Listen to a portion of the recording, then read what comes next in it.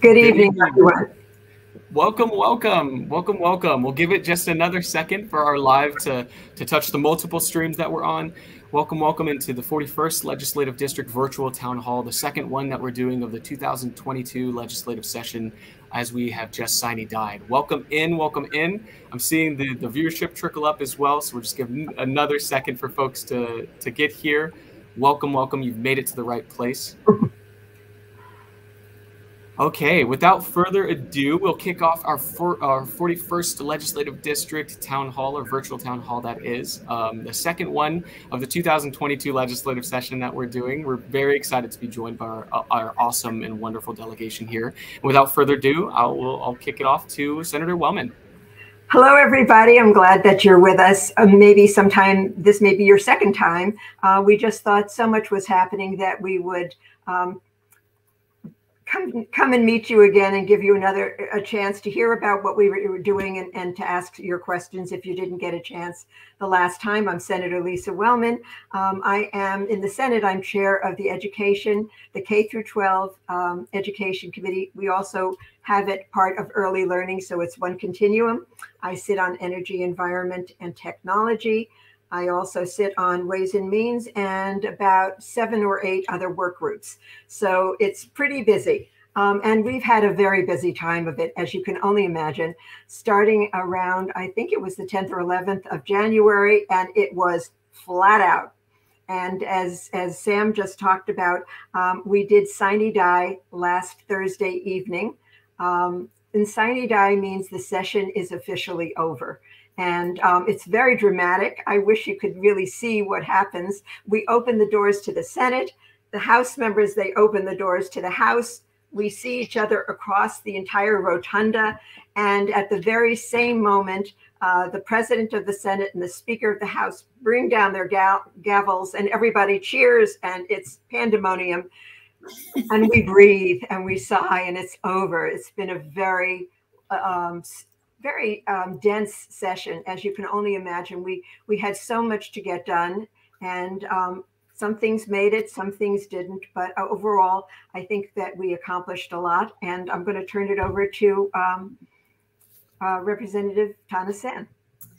Thank you, Senator Wellman. Uh, so, in addition to doing operating budget, which is your kind of generic, uh, big picture K 12 education, healthcare, um, prisons, safety net, all of that budget. We also this year did a supplemental budget because we have a two year cycle, and this is the second year of the two year cycle. So we had a, a, a, supplemental transportation budget as well, and we did a major transportation package. So that means that um, we haven't done one since I think 2018, where we've done such a big investment in uh, in transportation. We focused on making sure that things were green, that they were equitable, that we did multimodal, and really focusing on preservation and maintenance instead of brand new projects. Having said that, we definitely have some new ones.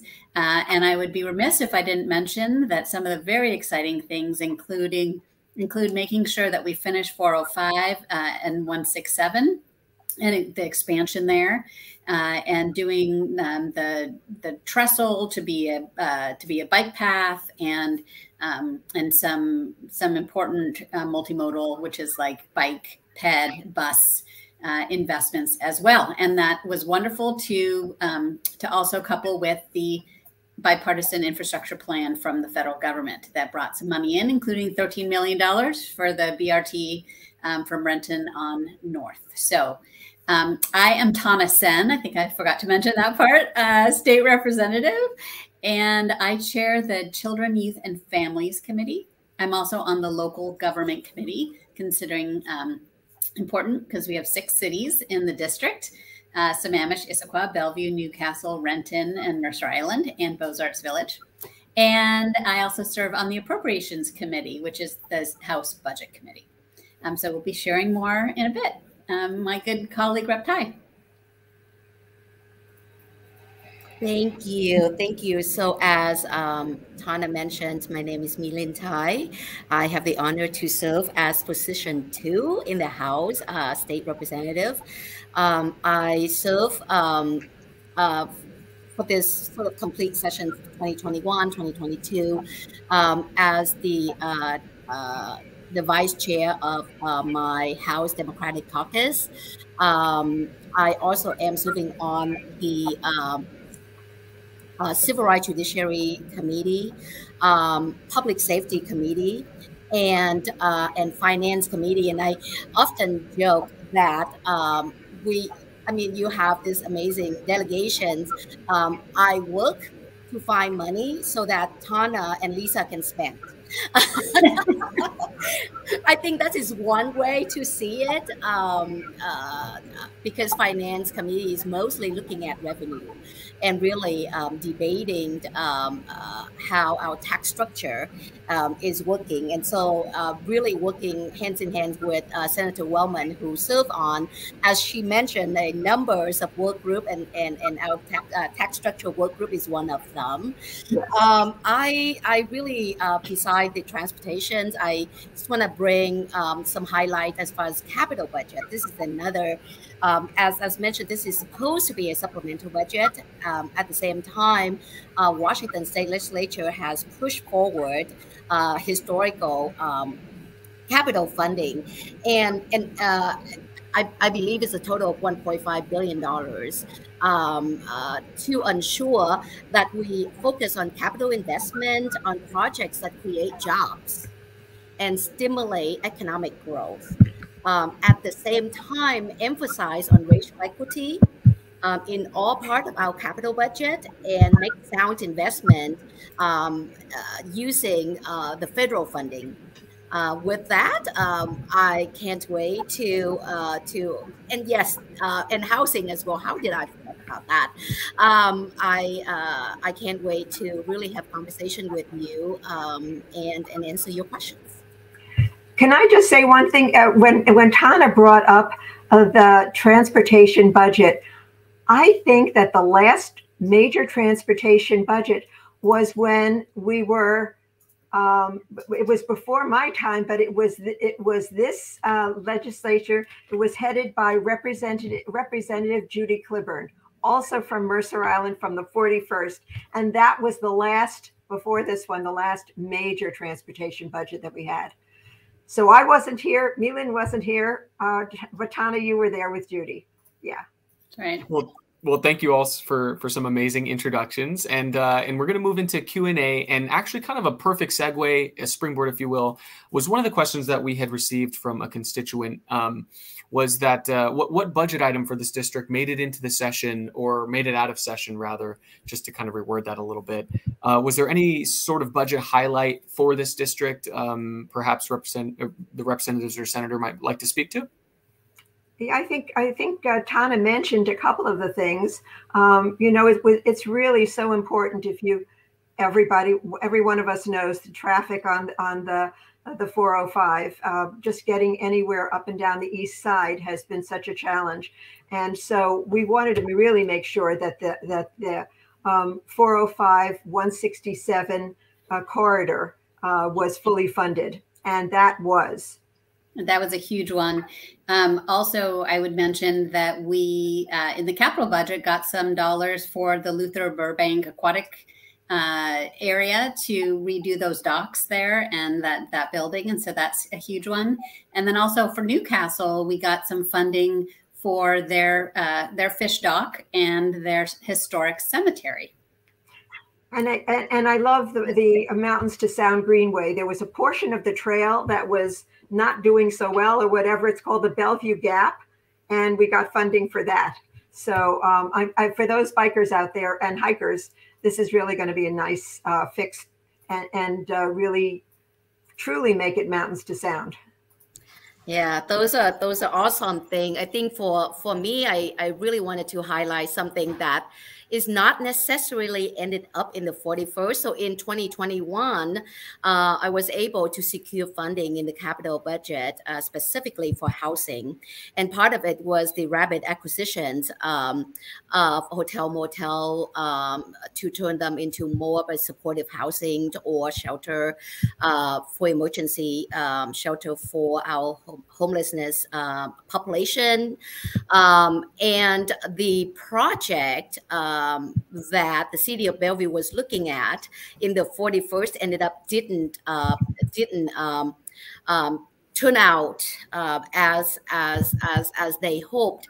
Um, they ended up uh, looking at a different uh, location to acquire, and that particular place um, is in the 48th, and it's not in the 41st. The city of Bellevue reached out to me, and I said yes uh, because I do believe that housing, affordable housing, and all of this is really our regional um, issues.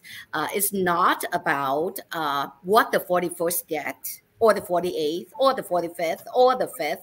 It's about all of us. And when we come together, and work together and find the best and the fastest solution to address uh, the homelessness issues, we ought to do that. Thank you. Uh, just Go so going back to the transportation budget, the, there's one little piece of it that I just love, and um, it's part of it, and it will mean that going forward, any young person under 18 or years of un- younger can use all the transportation, ferries, buses, rapid transit for free.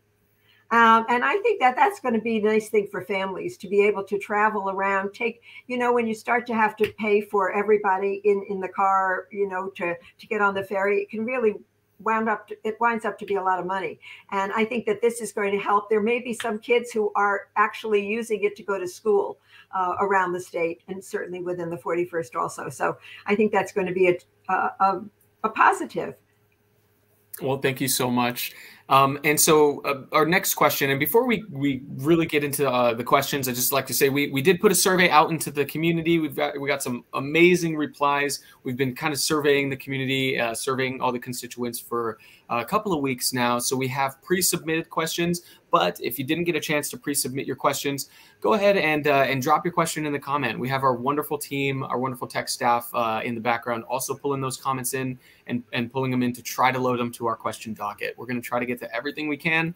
Um, but if you have a question or comment, please go ahead and just drop it uh, from when, wherever you're viewing. Okay, so our next question was one that we kind of monitored over a couple of different emails in these different offices, and folks are really curious about if uh, if our delegation had a favorite bill or policy that they passed this year, and maybe we can start with uh, Representative Thai. Well, thank you very much. Uh, oh my goodness, uh, it, it, would be sort of like weird to say, of course, every single bill we like really our favorite. We loved it, um, but I have I, I have to say the one uh, favorite bill that I passed was a bill coming from our very own constituent, um, and um, I'm gonna I'm gonna name him um, Mr. Um, Bob Ellis. So Bob came to me um, on, in 2020 in 2019 my very first session and presented to me an issues that um, he faced and he believed that we need to to fix what's in the laws so if, if any of you um, who either love riding bike and as senator wellman talked about um, and, and representative Senn talked about the expansions of multimodal um, including by lane um, or families who just wanted to go out uh, to ride a bike at, in, at your favorite park, uh, we often pile uh, our bike uh, in the back of the car, and uh, and because of that, um, we we temporarily uh, obstruct the license plate. Many of many of us did not know that that you have just violated the laws. Mm-hmm. Um, because the laws say that you, you may not obstruct license plate at all time. And uh, this legislation was about giving an exemption uh, to those who have um, uh, really put the, uh, the bike rack or wheelchair lift um, in the way that manufacturer recommended. And it is really uh, was intended for services, right? So families can go out. And, and so next time when you are driving or when you're parking, uh, either in the uh, Costco parking lot or in your local favorite uh, park, or if you're driving out in, in, in the freeway, and if you see bike racking uh, behind a vehicle, you no longer uh, violate the laws. It is exempted and it absolutely is an honor for me to uh, to bring this legislation uh, toward um, uh, the end. Uh, it's going to be signed by the governor soon, and um, it is certainly my favorite. Who's going next? All right, we'll go to Representative Senn next, and then over to Senator Wellman. All right. Uh, so this interim, which is the time between last session and this session, I worked with uh, dozens of advocates who are working with homeless youth and adolescents. And uh, it, especially during the pandemic, we knew a lot of foster youth who had either left foster care, uh, were struggling with housing and security. Um, people, you know, behavioral health is at the top of people's minds. Um, and unfortunately, we have a large homeless youth population. So, one thing that the state has always been committed to already is that we would not release any youth into homelessness directly from foster care or mental health treatment or juvenile justice. Um, but unfortunately, does anybody else hear a lot of noise? A little bit. Okay. Um, sorry. Uh, but unfortunately, that was a commitment we made in 2018, but we didn't give any tools to the state and to our departments to actually do that. So this year, working with these advocates, we put together a piece of legislation, HB 1905, that creates four uh, very flexible ways to work with youth and with individual communities, nonprofits, cities, counties, um, to help identify and serve youth who are homeless and before they become homeless, like if they're leaving a hospital or leaving, leaving juvenile rehabilitation or leaving foster care, to make sure that they do not become homeless as they leave. So, rental assistance, making sure they can get a job, um, working with the court system to ensure that um, uh, some flexible funding and some other programs. So, it was so exciting to see that pass almost unanimously every step of the way. Uh, we know housing crisis, and the last thing we want is for our kids to be homeless. Uh, to, one way to prevent adult homelessness is certainly to prevent youth homelessness. So I'm thrilled that we made some huge headway um, and had millions of dollars invested in both capital and in the operating budget to help uh, with youth homelessness. So I hate this question. I really don't like it because it is so hard, and it. I, I don't want anybody to think that there's a favorite bill, um, because they're all my babies and it's it's we shepherd them and it takes sometimes it takes a heck of a lot of work to get them over the finish line. And sometimes they're our bills and sometimes they're not our bills but as chair of a committee you know that this is an important bill. This bill wasn't challenging at all to get over the finish line and i think every parent out there will really appreciate this. Um, this was a bill that requires financial literacy and this is is for our school kids um, the idea that they would get out of high school without having to balance a checkbook know about credit understand keeping a bank account understand you know how business works how money is is created or wealth is created um, is really really seemingly um, yeah you should know that but but let's make sure that you do. And what and and the interesting thing was i think that we found parents loved it it was one of the most requested things from students. They asked for it. And I think that um, the teachers are really happy that we're, we're adding that to the mix of uh, requirements that we really address as far as um, uh, our K 12 system. Amazing. Thank you so much. And our next question was uh, was one about policing policy. Actually, it was what was the legislature or what has the legislature done to address some of the policing policy concerns from last year? I, I can take this. Okay. Uh, I can take a stab at this first. Uh, I don't like that taking a stab at this. Sounds so violent. Uh, poor choice of words. choice of word. Um, because I, I, I, serve in, in both um, civil rights judiciary and public safety uh, committee this year.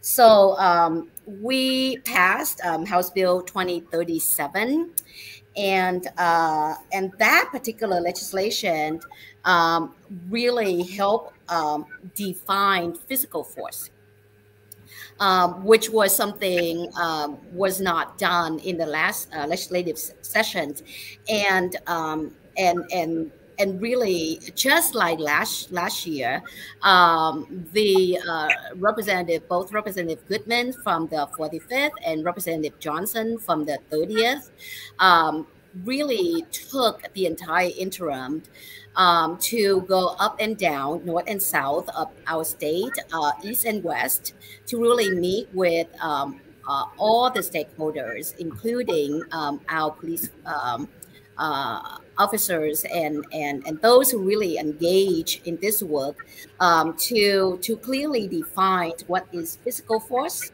to clearly uh, clarify and articulate uh, what what what police can can do as far as providing uh, support and public in terms of um, um, intervening uh, for public safety and and really clarifying what some of the uh, terminology when it's come to reasonable care versus um, uh, oh god i'm blanking out on another terminology but it's, it's basically there was so much confusion as far as when a police officer can intervene especially in the case of um, call uh, for mental well-being of our neighbors and so that particular, uh, uh, both uh, the legislations came through and uh, heading to, um, I think one of them's already been signed.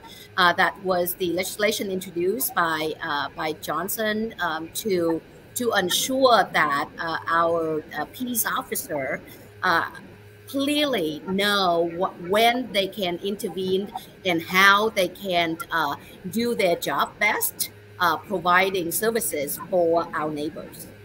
And, and if I may, one of the things uh, that I think is also part of this question is what didn't pass, um, because there was there was quite a lot of um, interest in a bill that came over to the Senate from the House, and it had to do with pursuit um, of uh, somebody in, in a car. I, I don't know if everybody is really aware. I wasn't that most of the people harmed by pursuits are innocent bystanders that have absolutely nothing to do, either the police or the person they're pursuing them. And what we passed a bill last year that um, we tried to clarify this year. But last year, since last year, we have found that there have been 60% less injuries with this type of pursuit.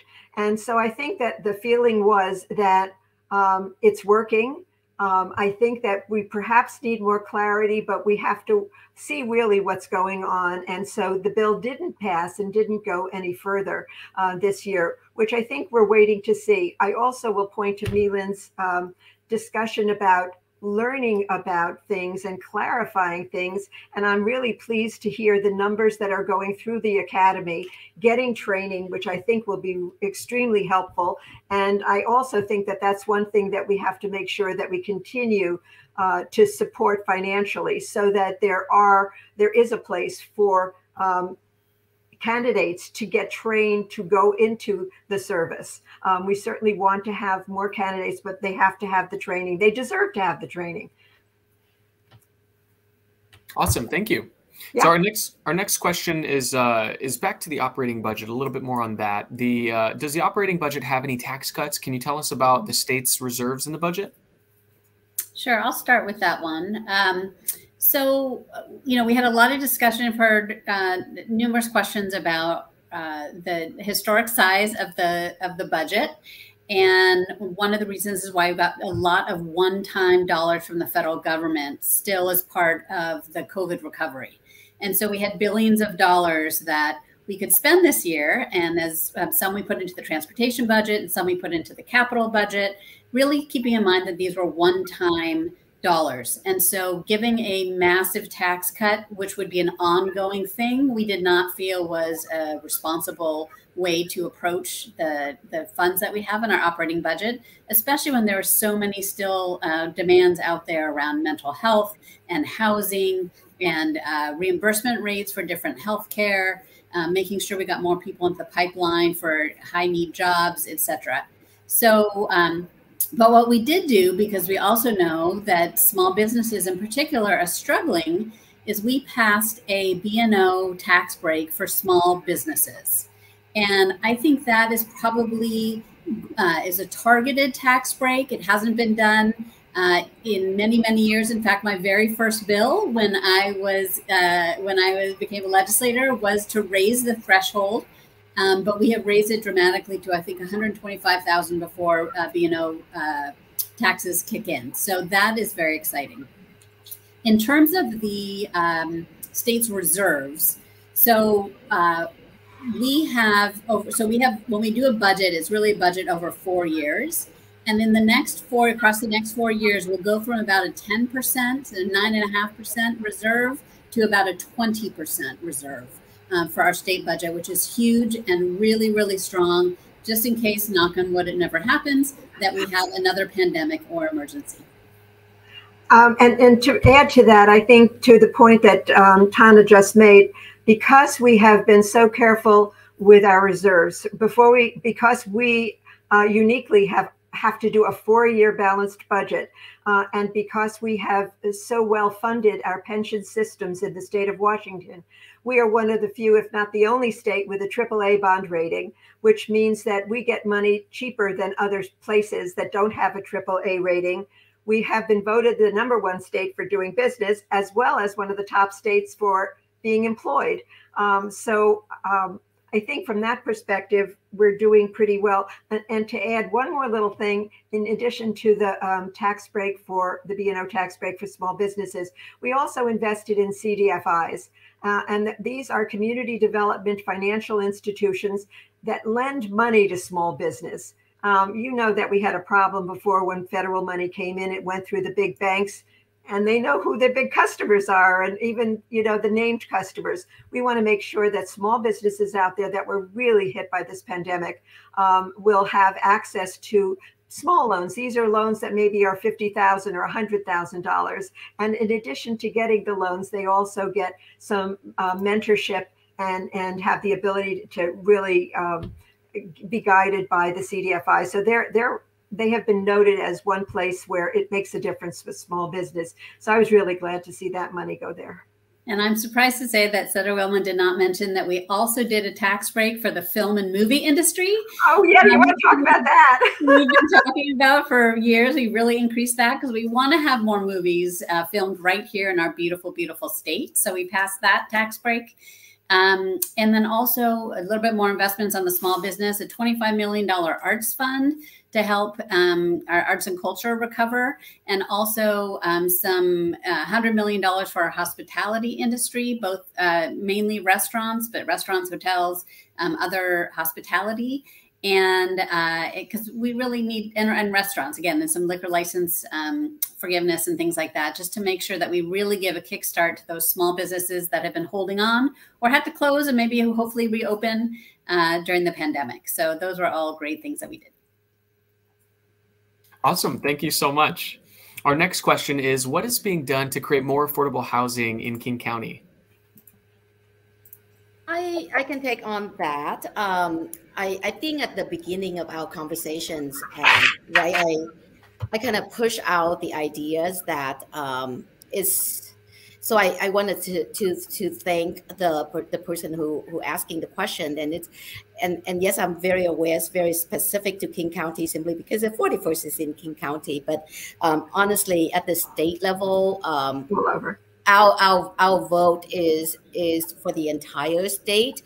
And um, my heart is full. I, I think housing is an issue across our state. Um, um, and it's it's not just a king county issues and um, as i shared earlier as far as our capital uh, budget uh, just even even if, if we're just looking at capital uh, budget um, uh, we invest, uh, we increase uh, the housing trust fund, $113 million uh, into the housing trust fund. We put in $300 million into the Rapid um, uh, capital acquisition uh, for, for shelter. We put $9 million into grant for the CHIP which is uh, affordable housing uh, utility connections. I mean, we we put a lot of funding into the overarching ensuring that housing um, um, is is going to be uh, one of our top priority. And I would be remiss if I don't mention uh, because the uh, the former speaker would not like me. Uh, Representative Chopp introduced legislation that required, um, um, uh, with the intent of housing is healthcare, um, for for our healthcare providers um, recognizing or knowing uh, of their patient who they see by having um, a roof over their head would be part of uh, their well-being. Uh, and so we fund um, uh, uh for that partic- particular program um, through Apple Apple Care in Washington State. I mean, I, I can't, I really can't say enough of how uh, I am very proud of us uh, getting out of this short sessions, really addressing housing continuously head on. And if, Tana, you wanted to go, go ahead. I, I, was just going to say, you know, for for many people, we're following along with some of the uh, bills that got a lot of the media attention. It was the governor had introduced or had asked to have introduced some legislation that would have required housing um, multiple units on all single family lots. And, you know, that really would expand housing um, broadly in concept um, but also is very controversial because of local control, which means normally local city councils, local cities control their zoning.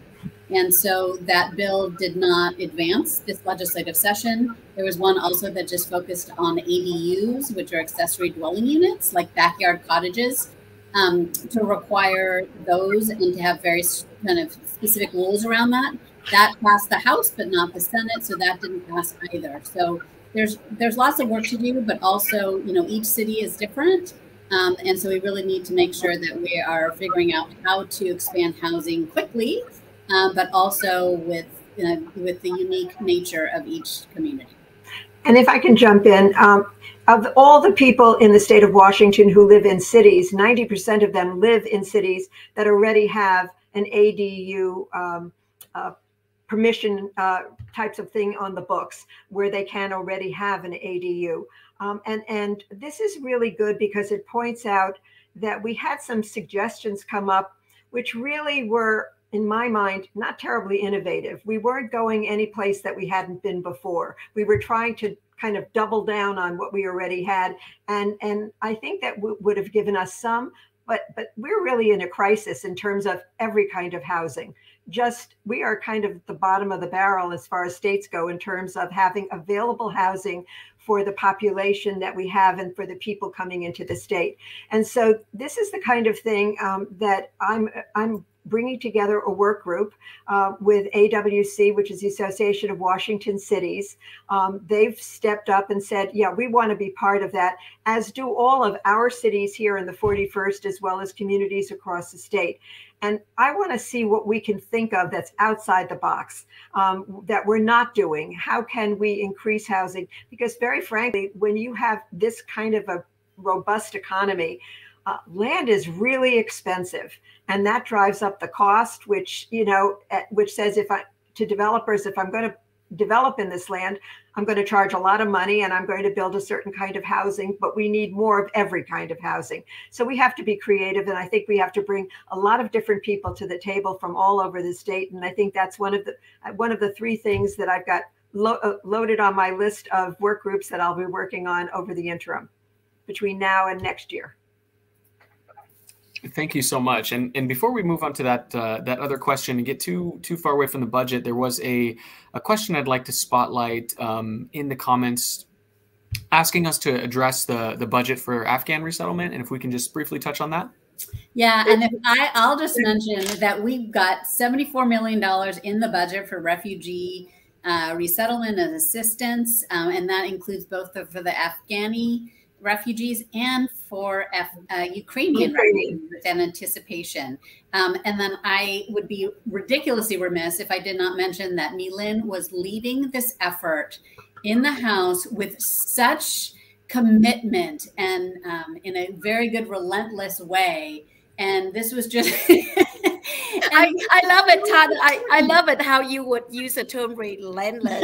I, I think I think like if it, if it wasn't the legislature, people would have said, "Oh my God, no, this is exactly what we need to do," and we got it. And it's because, like you know, when um, and just it's so important. And, um, and so I'm just so proud of our state, of the of our response, of our welcomeness, and uh, we need to continue that. And so thank you, My-Linh, and um, I'm thrilled by $74 million in our budget for uh, refugee resettlement.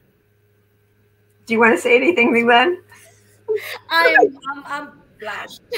um, I mean, it's, it's one thing that, um, you know, it's one thing to be proud as, um, once again, I, I will give, I will give the credit to the 41st. Um, really, thank you for giving me the honor to to speak to my very experience, my very existence of being a refugee, um, for understanding that deeply, um, and and and really to bring the voice uh, to legislature. That is that that does not um, um in any shape or form uh, really honor our legislature as a whole uh, because um, the, the, budget wouldn't happen. And this budget is bipartisan. Um, the the uh, the investment into our refugees, into our new arrivals, into our new families, into our new neighbors. I mean, this is how I believe we should look at it. This is an investment into the most um, important resources for our state, human resources. And these are the humans who coming to our state will be part of our, our, our, our community. And when we set them up for success, the, the return is multiple. And so I'm, I'm so proud of us. We're proud of you too. Thank, Thank you. you. Thank you so much. Our next question uh, coming in through the chat was What is the legislature doing to address the mental health crisis in schools? So one of the things that I, am I'm very proud of that we we managed to do um, was to raise the prototypical model, adding additional funding to our school districts for a specific group of people, people who are uh, counselors, psychologists, and social workers who can deal with these problems. And one of the things that I think people should be aware of is the way we put money out to, to our schools are depending upon on a for 400 pupils, this is how much we put into a particular category. But once that money gets to the school districts, they can spend it any way they want because they have local control in general. This time we realized and we believe that this is such a critical and important area uh, that we said we're going to send more money out for this, but we're going to require you spend it only for that. And we think that that will really make a difference. I think we're also looking at the um, community support, um, community organizations that have been amazing supports. Don't forget, we received three waves of ESSER funding from the federal government that went to schools. And much of that money is going to be able to help for recovery and when I say recovery, it's kids need to get their feet under them. They need to feel that they're in a good place uh, before they really can can be in a place where they can really advance their learning. And so that was really a, necessary thing. And as I toured the state and talked to different groups in all of the nine um, education service districts, many of them were using some of those ESSER dollars to really devote towards programs for community health, for parents and teachers and, and the system to really get back to a place where kids are moving forward and advancing. Really important. And we also spent additional money to um, help with mentoring students, one on one mentoring, and other programs that are in the budget. Um, some of them small, some of them large, but really focused on working with with children having more people in the building will be important so that there's more one-on-one time i think yeah, and I and I I want to jump in uh, into this uh, to highlight uh, the the bipartisan work in our state.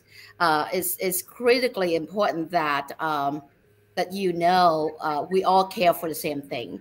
Sometimes we may speak differently or approach it differently, but we all care for the same thing. And in this particular topic, I really want to shout out to Representative Eslick, who is our Republican colleague in the House side, and um, she uh, she um, uh, uh worked on the legislation. I I think it's House Bill 1800 and it's very specific of uh, requiring and, and this is the piece where i have talked a lot about how our system sometimes do not talk to each other and especially when it's come to mental health behavioral health for our kiddos in the k-12 system that the healthcare system and the educational system don't really talk to each other. And this legislation uh, is the beginning of that, um, um, um, um meshing the two.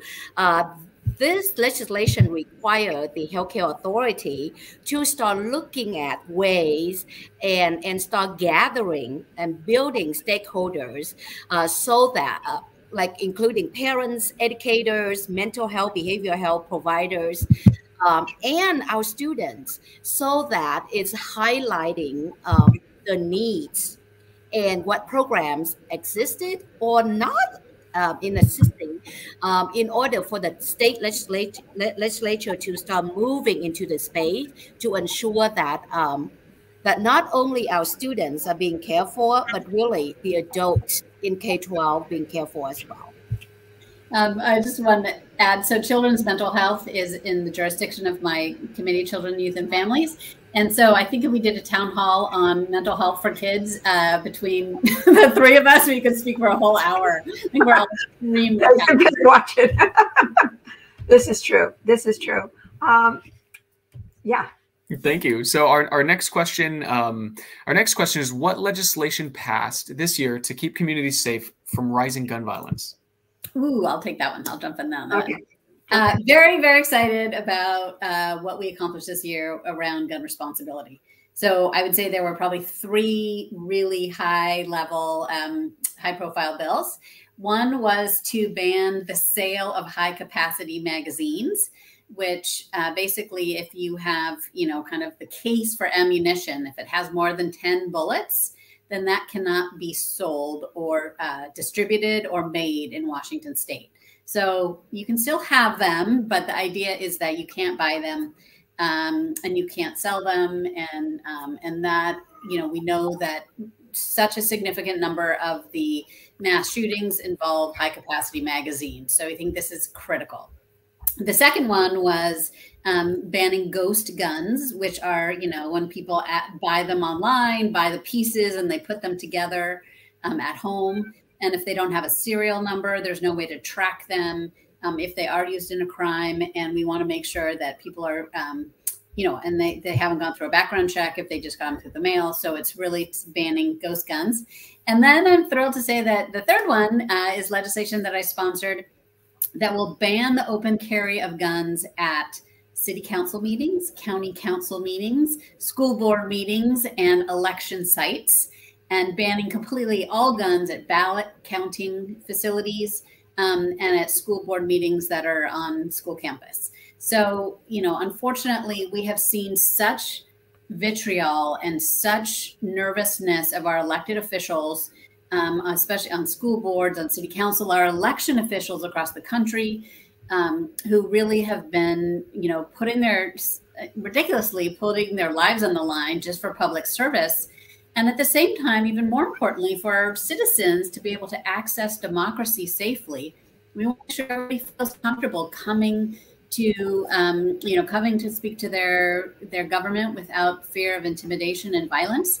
And so, we heard unbelievably emotional testimony um, from school board members, city council, mayors, prosecutors, um, election officials. And I'm thrilled to say that we passed that legislation too. And those three bills will be signed next week.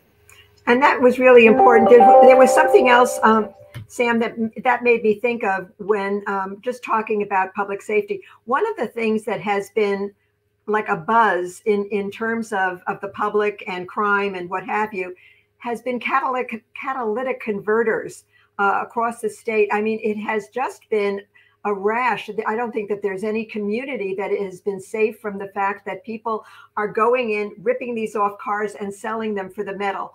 I don't know the technical parts of what the metal is or anything like that, but we did address that in a bill about, um, it was HB 1815, um, that was, um, I think, Cindy Ryu's bill and it really addressed the marketplace and making it very difficult for somebody to benefit from going and stealing somebody's catalytic converters. That was that was um, there was quite a buzz about that throughout the Senate. Amazing, thank you. So our next question was uh, was actually on on folks who don't speak English as a first language. The question came in. It was, what has the legislature done to expand accessibility for people who don't speak English as a first language? Well, I, I, well, I'll jump in. Because, well, this is actually a bill from the House with, with from Representative Orwall, and I've been working with her for five, I think maybe five years, maybe it's only been four years. But she brought this to the EOGOAC, which is a work group that I sit on that's focused on the opportunity gap, and she was she was really so compelling when she first uh, uh introduced this to us with the idea that there are many places as, as we know in the 41st, you could go to any one of our communities and we have a hundred or more languages that are spoken. And in many cases, the children are doing very well, but the parents really are not that familiar with English. And um, we want, we know that when parents are involved in their kids' education, when they understand what is going on and they can support the activities, they can support their children, the kids are going to do better. And um, it's really a burden and a challenge for the schools uh, to to welcome everyone immediately um, and to make them feel welcome, et cetera. And so this language really does require us to focus on developing the the training, the translators, the the even translated um, the kinds of things that you pass out in school, making sure that the school has it in every language. And it's all coordinated through um, OSPI, which is the Office of the Superintendent of Public Instruction, and um, still will need some more work going forward, but it hopefully will make a difference in, in having uh, parents understand more when, it, when a young person who is special needs has an IEP. This is a very um, it's a very elaborate process and it's very confusing to parents. We want to make sure that parents know what we're doing for their kids. And I think that this is an issue overall that parents really do want to understand what's happening at school. We want to be able to tell and share with every parent what is happening. And I think the results are going to prove out to be very satisfactory. Yes, yes, absolutely. And, and language access is everywhere, right? Uh, especially as mentioned, Washington State is a welcoming state, and we we benefit from that um, diversity and diverse uh, and the rich the richness of, of languages.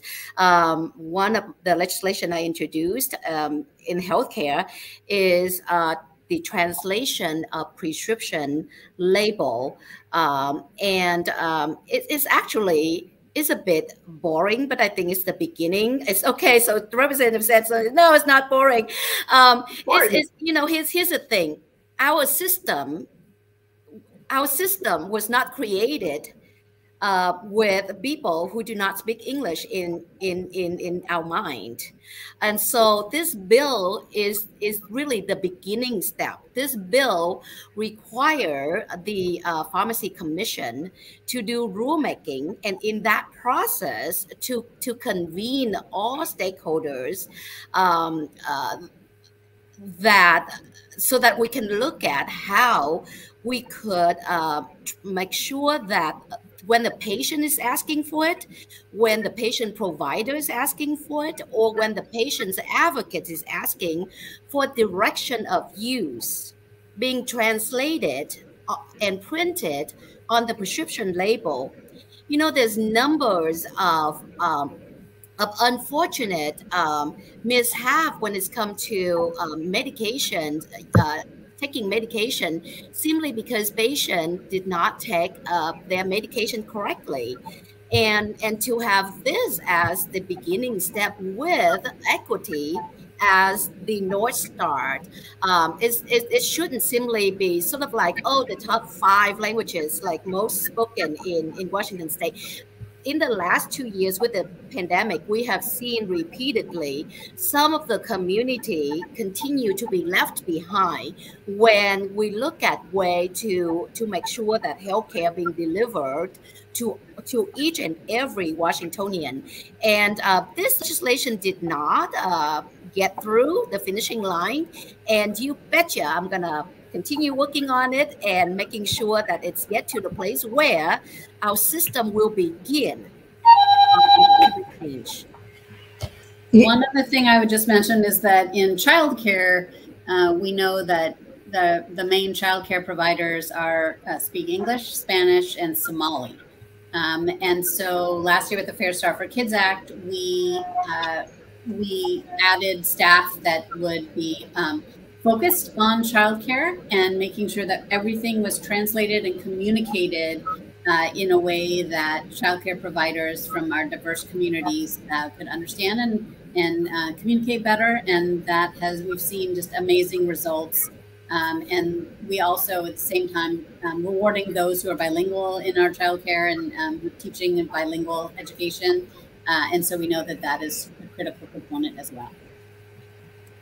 Thank you so much, and um, I, I, wish it weren't so, but we've we've almost run out of time. We're coming up on our hour deadline, and just to prevent us from getting booted off the system here, we're going to transition into closing remarks uh, with uh, with one of the final questions, which actually did pop up uh, a couple of times through emails here.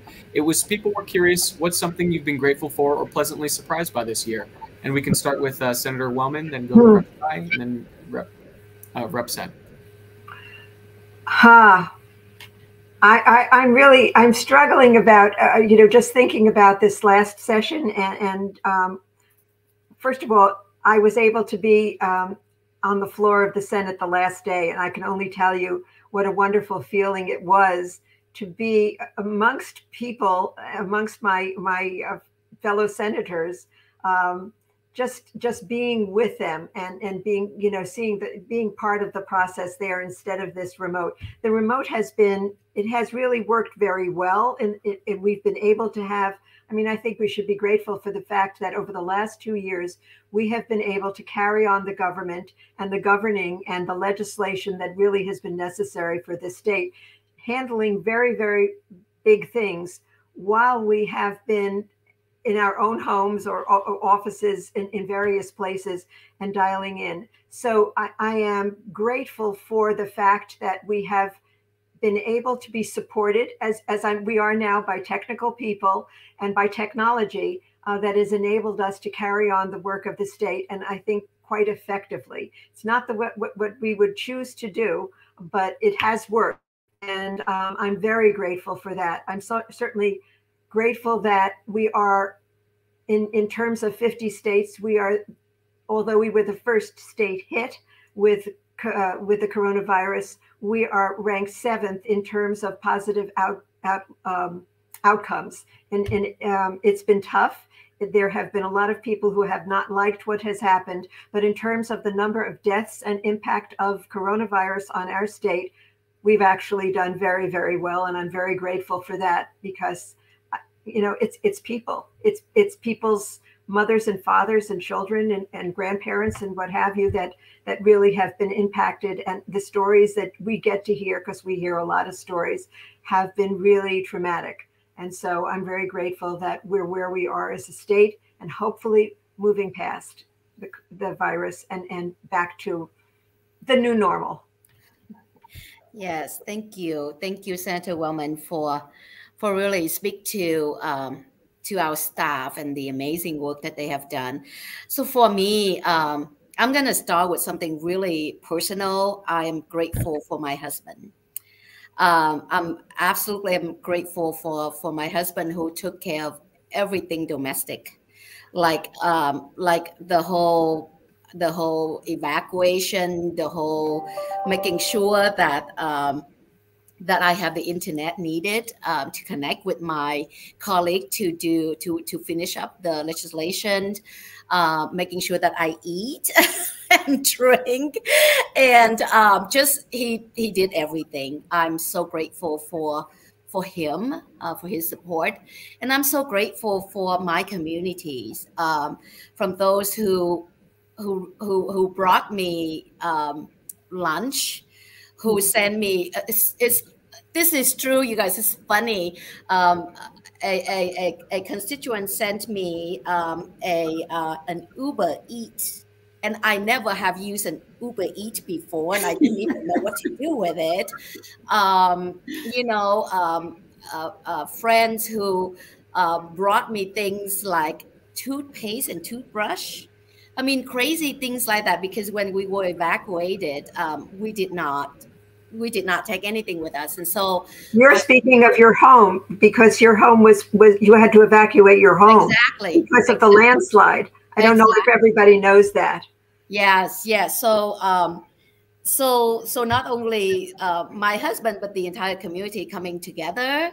Um, I I did not skip a, a beat as far as the work for the people, and um, really I couldn't do it without without you all. And so this this work, this the outcome of this legislation, um, is truly all of our work together. So thank you.